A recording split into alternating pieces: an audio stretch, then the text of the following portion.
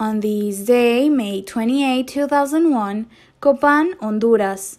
On a day like today, May 28, 2001, they discovered in the ruins of Copan, Honduras, the tomb and remains of one of the 16 rulers of the Mayan dynasty of the city.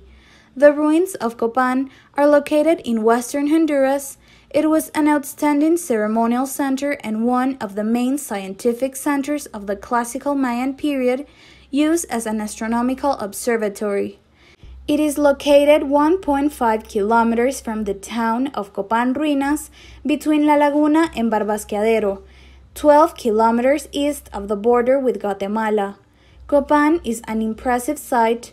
It was discovered in the Motagua River basin in 1570 by Diego Garcia de Palacio. It was baptized as the Athens of the Mayan world due to its archaeological similarity with the classical city. This was a day in the history of Honduras.